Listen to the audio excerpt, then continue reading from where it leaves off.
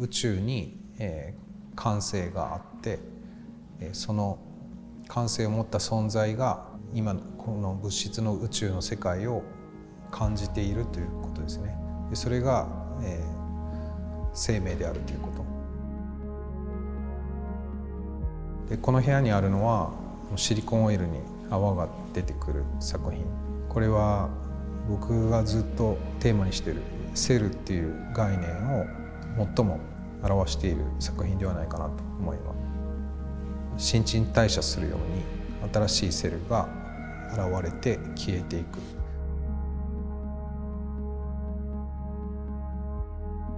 でこのバイオマトリックスの向かい側にあるエーテルっていう彫刻も、えー、今回新しい形状でこのバイオマトリックスの下から上に湧き上がる力それが彫刻になったようなこの2つの彫刻とこの液体を使ったインスタレーションこの関係が一つの部屋に収まっています。で2階の部屋に行くとピクセルというインスタレーションがあってこれは僕はもう20年以上続けているコンピューターのピクセルと細胞のセルっていうものを合わせた彫刻なんですがそのピクセルのシリーズの新しい見せ方をえ今回考えました。でそれがちょうど来年100周年にあたる。でこの100年前のアーティストのインスピレーションを今考えるということは100年後のことを考えることにもつながるんではないかなと思ってそのシュールレアリズムっていうものを一つレファレンスにしながらアンティークの家具と動物の剥製とか異なる時代のなるモチーフを組み合わせるという彫刻を考えました。で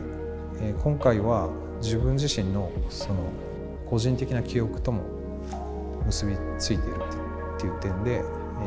今まで見せなかった部分が出てきてるんではないかなと思います。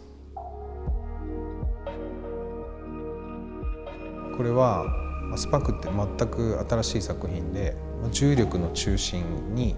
カーボンロッドが集まって集積しているような作品ですね。で空間の中に異なる重力の中心があってそれが浮遊しているようなイメージで作っています特にスパークっていうのは、えー、光を吸収する真っ黒なパイルで覆われていますでこれはコンピューターのシミュレーションによって設計をし重力に抗うように浮遊しているような彫刻として考えました。でリズムという作品は平面のようなペインティングのように見えるんですが一つ一つ小さな彫刻のエレメントがその平面の中で息づいているというかせめぎ合っているような状況を作っていて